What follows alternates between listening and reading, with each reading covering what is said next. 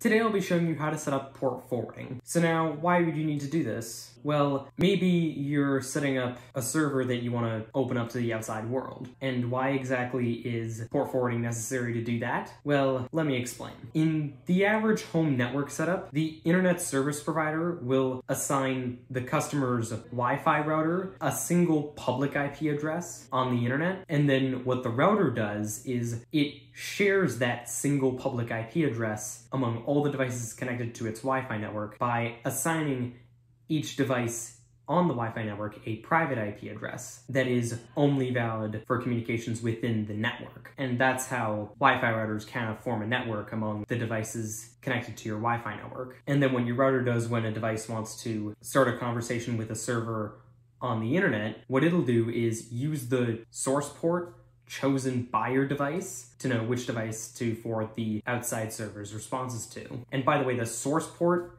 that your device uses is completely independent from the destination port that the server is actually listening on. So for our purposes, we don't really need to worry about source ports. We only need to really worry about the destination port for our server, or in simplistic terms, the port that our server application is listening on. But what you do need to know is, well, this works fine for the average user whose devices are just establishing connections with random servers on the internet, where this approach fails is when you have a server and an outside device wants to establish a connection with your server. In that case, how is your router supposed to know which device that incoming connection is for? So what happens is, by default, your router will simply discard it, simply because it doesn't know where to send it. What a port forwarding rule does is it creates a port mapping that ties a destination port to your server's local IP address. So when an outside device tries to contact your server on that port that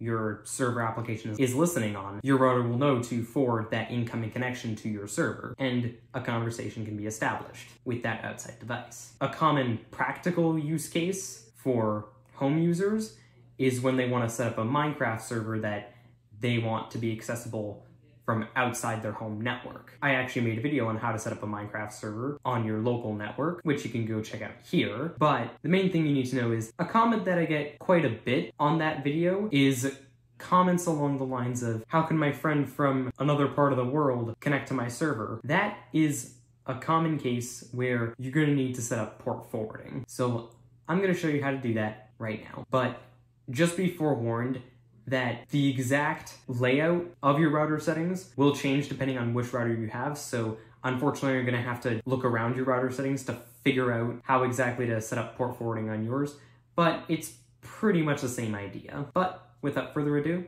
let's get right into it.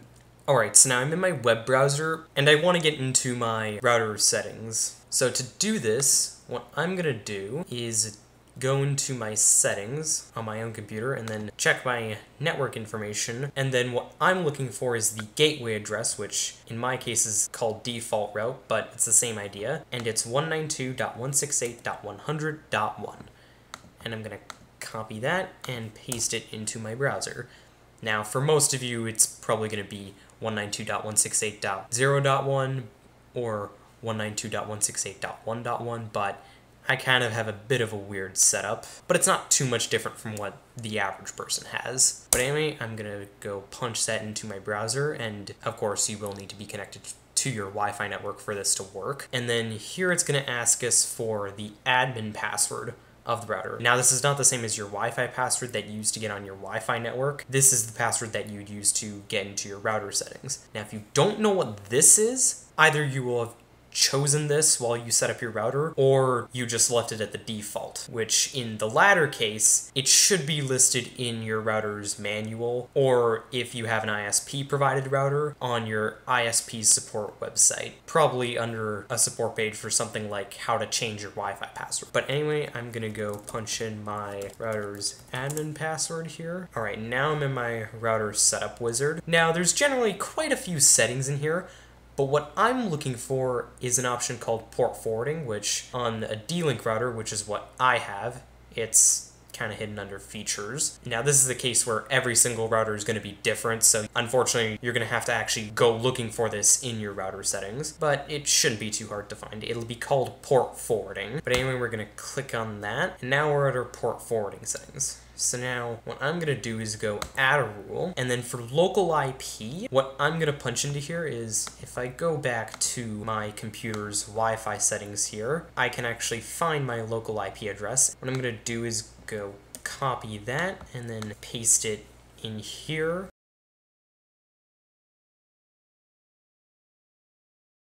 It'll generally be something like 192.168.0 or 1 whatever. And then here's where we're going to select our port. So now here I can define a TCP port and a UDP port. Now if you're not sure what those are, put simply, these are two different protocols that applications will use to communicate with each other over the internet. Now if you're not sure what protocol an application uses, a good resource for this is this Wikipedia article, which gives you a pretty comprehensive table as to whether a port is TCP or UDP, as well as the default ports for common applications. Like, for example, if you're hosting a Minecraft Java Edition server, the default port for that would be TCP port 25565. And by the way, this is not the same for the Bedrock Edition server. That uses a different port, specifically UDP port 19132. And by the way, the way you know is like which one says yes or unofficial under TCP or UDP. Now, if an application has both a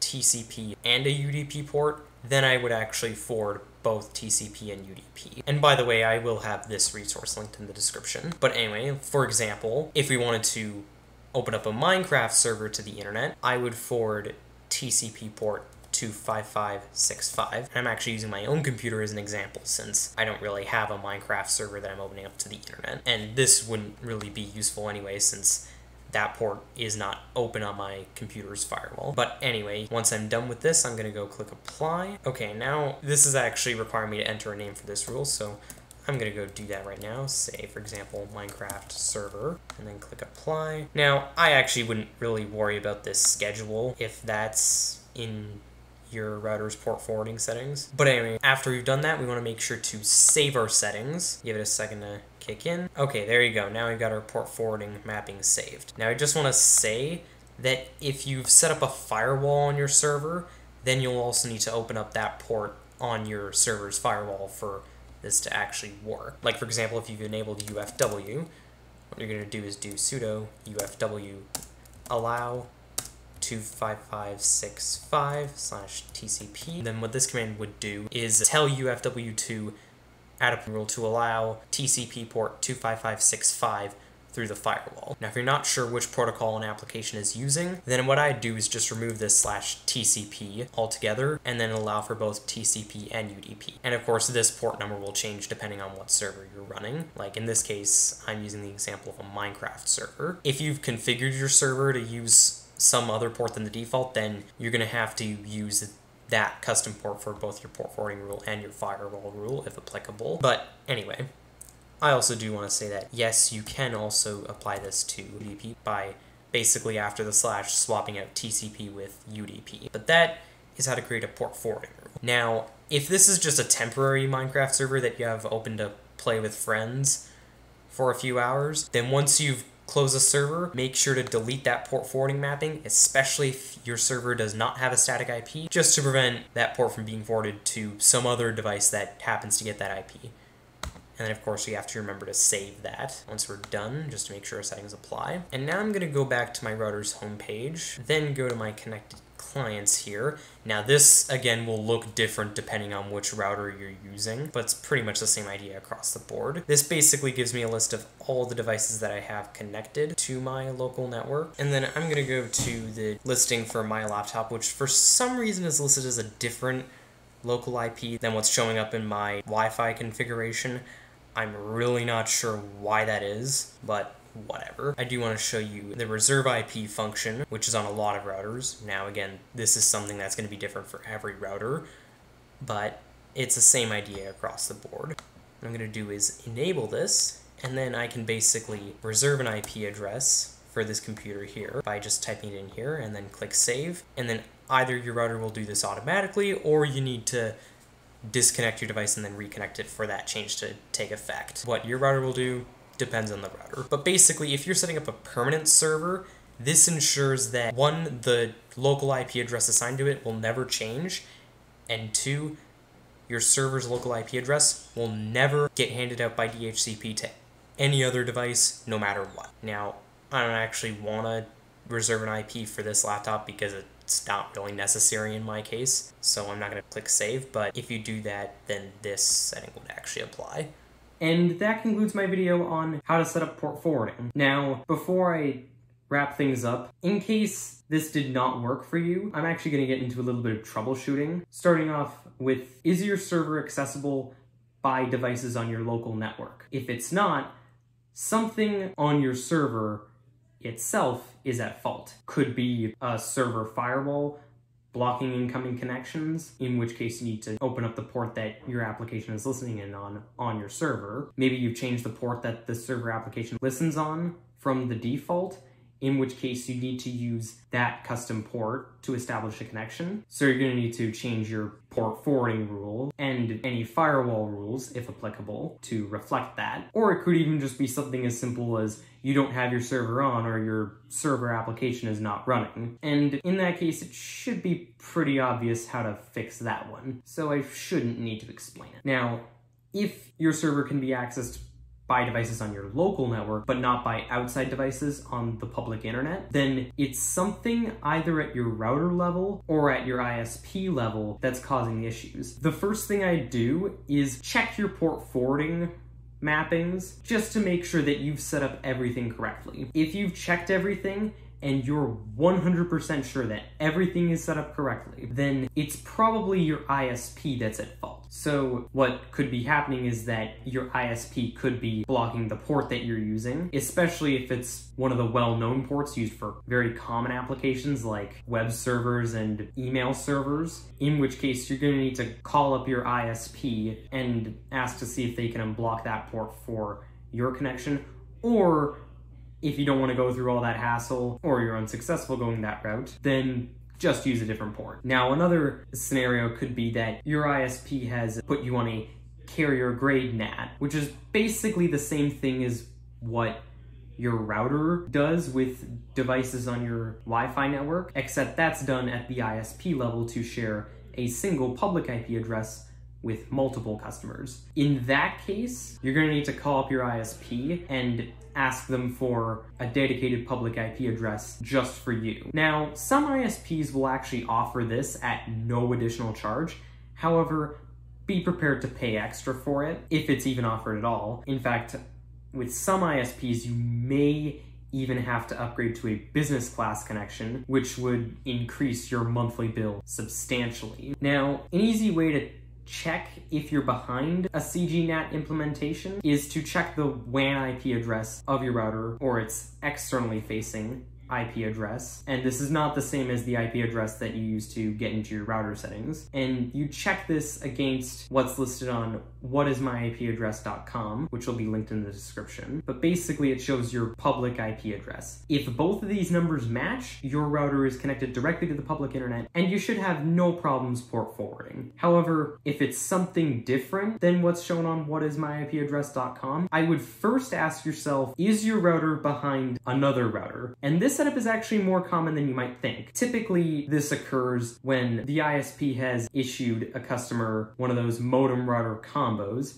and the customer hooks up their own router to the combo unit for speed and reliability. In that case, what happens is your router that all your devices connect to is on a private network that is established by your ISP's router. In that case, I would get your ISP's router switched to bridge mode, which will essentially disable the router portion of it and get it to act as a modem only, which should connect your router directly to the public internet. You might actually need to call up your ISP in order to do this, depending on what ISP you're with. Or another thing you could do is set your router as a DMZ host in your ISP router's settings, which if you don't know what a DMZ host is, DMZ host is basically networking jargon for forward all ports, which you generally don't do with a server, but in this case, since it's your router, which is basically meant to be connected to the public internet, it's fine. Basically what forwarding all ports will do is emulate your router being connected directly to the public internet. Now that setting may be abbreviated to DMZ, depending on the router, and it may be even hidden under the firewall settings. Again, this is a case where every single router is going to be different, so you're going to have to go looking at your ISP router settings to figure out how to set that up on yours. But if you're gonna go that route, I would actually assign your router a reserved IP address just to ensure that it'll never change as long as you keep your router. Now, if you ever get a new router, you're going to need to change that IP reservation setting to reflect that change. But anyway, let's just say that's not the case for you. Your router is the last device in the chain before it reaches your ISP and you're still not connected directly to the public internet. And then unfortunately you are behind a carrier grade NAT implementation and you're gonna need to reach out to your ISP and ask how you could opt out of that. But anyway, that's it for this video. Thanks for watching. If you liked this video, found it was helpful, hit the like button, share it with your friends, subscribe to the channel, and leave a comment.